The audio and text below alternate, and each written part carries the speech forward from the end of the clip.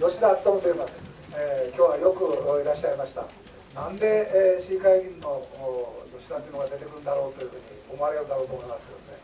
えもともと今日のご案内は私はずっとあのブルーの紙で、えー、出させていただいておりますが最初は町田市会の先生に話していただきましてずっと今まで23回やらせていただきました、えー、今日は馬渕先生にご縁がございまして無料で、えー、やっていただきますもうお金をいただいてとなるとですねおそらく100万円ぐらいは払わないといけないだろうと思いますのでもう100万円を50万円にケチるよりは全く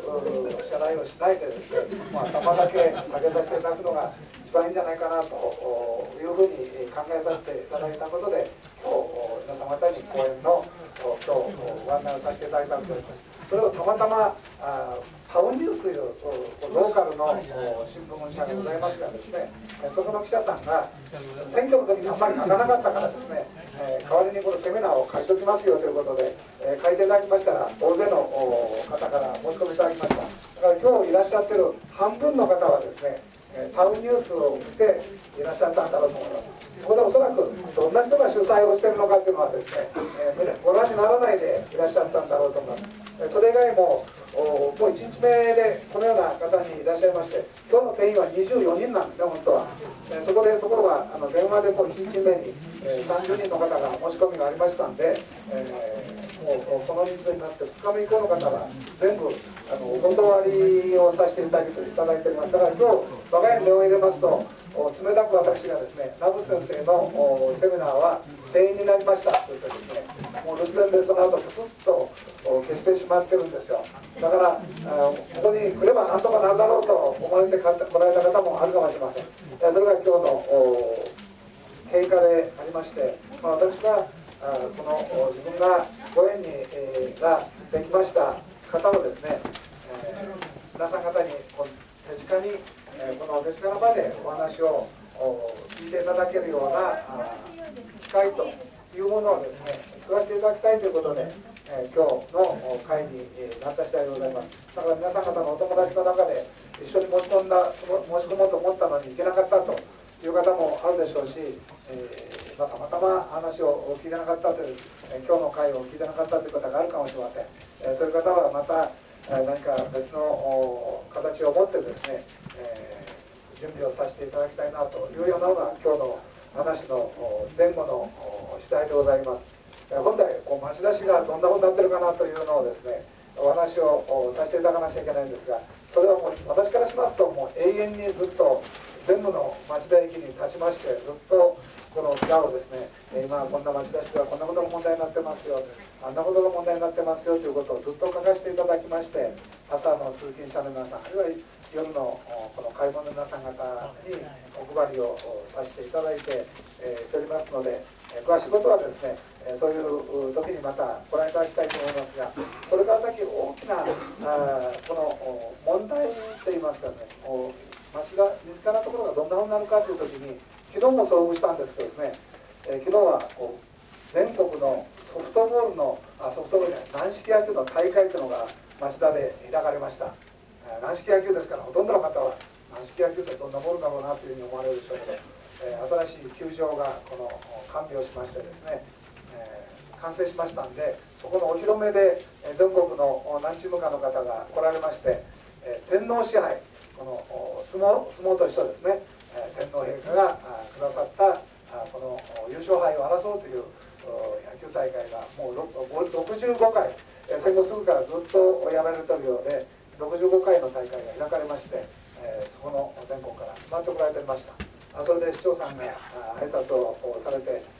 ちょっと見とられるなと思ったらもう試合ですっとおられないんですよね、え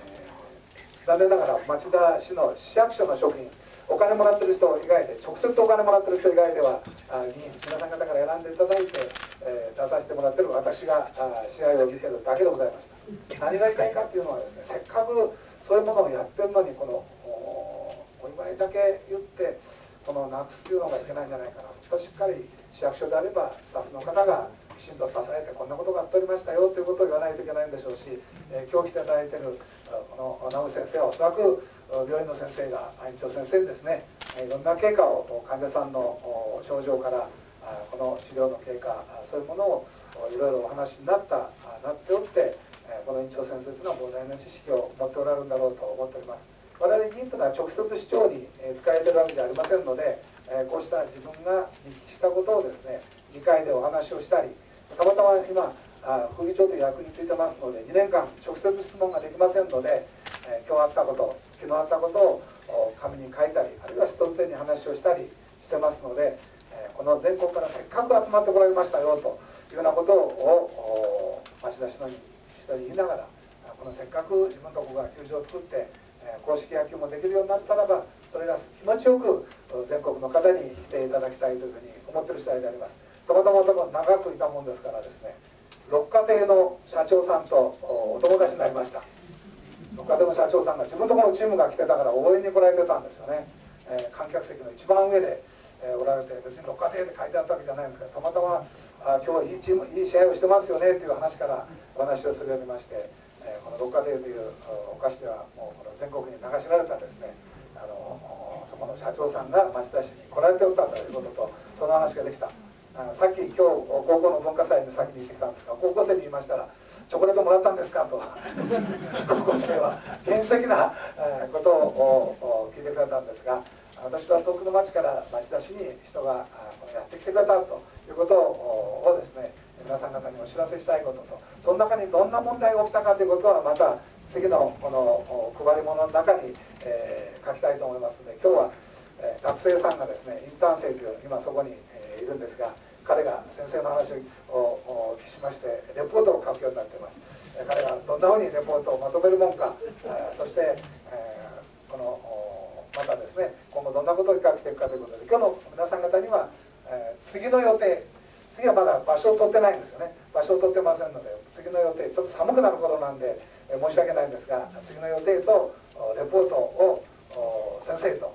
今日の出席の皆さん方に準備をさせていただきたいと思いますので必ず住所は変えていただきください、えー、もちろん自分の私は議員ですので自分が直接選挙に、えー、時なんかご案内することあるかもしれませんが、まあ、しばらく選挙もありませんし、えー、こうした会をですね、えさせていただく案内、え今日もそういうタウンさんが書いていただいたんで多くの方にご案内ができたんですがなかなか大勢の方にご案内がすることはできません、次はどんな会議をどんな講演内容になるか分かりませんがその時々の時々で、え皆さん方がこんなことだったら興味を持っていただけるんじゃないかなということを町田市で問題になっていることに合わせて、えー、やっていこうというふうに思っております。私自身も今市民病院ののことを問題にする課題にする担当の委員会に入っておりますがなかなかあ、えー、委員長とお話をしたのはまだ2回目ですねそれぐらい実際にはなかなかお会いすることもありません、え、しかしせっかく身近なところに接してますので皆さん方の覚えるものをいろんなさまざまな形で届けてまいりたいと思っておりますので、え、今日ご縁にタウンニュースをご覧になった方はですね、え、今日ご縁に、え、テーマによって必ず来てくださいじゃありません。自分の関心がある時はぜひ、え、来てくださいとこういう会を準備させていただきます、えそれと報告忘れてましたがさっき具合が悪くなった方はですね、えもう具合は落ち着かれております。えー、なんで分かったかあります遠くから先ほどから何回か向こう私は目線を右手に送ってますがあ私は日頃からお付き合いをしてますので奥さんの顔を見ましたら、えー、もうすっかり良くなれているということが分かった次第でございます。今日いらっしゃった方に、えー、そのことをご案内しましてそして、えー、まずいろんなことが気になられましたらこの今日のご縁で名渕先生のところですねにもこんな問題どうなのかなということで、ご案内をさしていただければ幸いでございますそして地元の市民病院も総合への一つでございますので、えー、まあ、皆さん方忘れないことなくそして身近なところでお医者さんはこの日頃お付き合いになるですねお医者さんというものをぜひ、えー、作られるもう当然いろいろあると思いますがお尋ねになるお医者さんというものをあった方がいいんじゃないかなというふうに私にはまだ人生の経験は浅ございますがそのことをご案内申し上げまして今日のセミナーの終わりとさせていただきます今日は狭い会場にですね。もう大勢集まっていただきまして大変ありがとうございました。もうこれだけの方に集まっていただいたのは初めてでございます。しかし人この会場に収まるぐらいですね椅子を用意してさらに用意して全部、えー、自分の方で当方で用意しております。ここでこの町田市が用意してくれたわけではありませんので、えー、そのことを政治家というのはそういうものを用意するもんだというふうに、えー、ご案内いただきたいと思います。今日はあありがとうございます。そして直先生